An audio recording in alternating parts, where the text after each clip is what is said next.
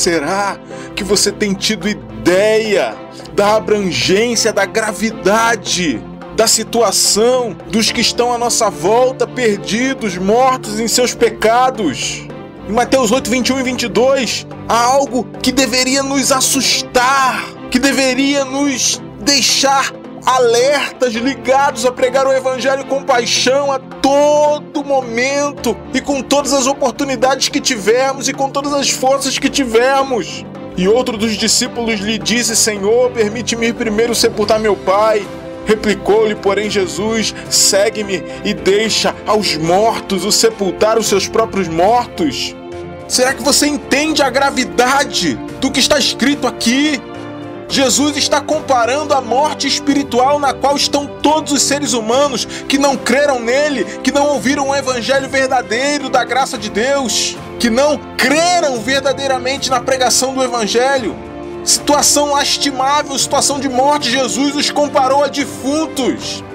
Deixa aos mortos. Esses mortos são os que estão vivos, são os que estão à sua volta, do seu lado, seus vizinhos, seus parentes. Pessoas que moram perto de você, trabalham perto de você, estudam perto de você, e outras que estão longe. Sepultaram seus próprios mortos. Esses outros mortos que Jesus, sobre os quais Jesus falou, eram defuntos, que tinham morrido mesmo fisicamente.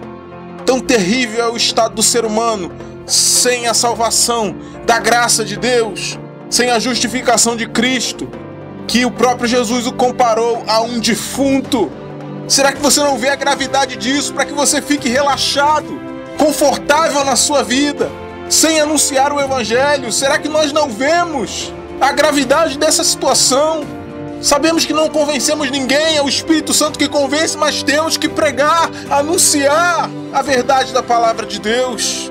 Como é possível seguir a vida normalmente, como se nada estivesse acontecendo, sabendo que as pessoas estão mortas e caminhando para o inferno, perto de nós, sem fazermos nada.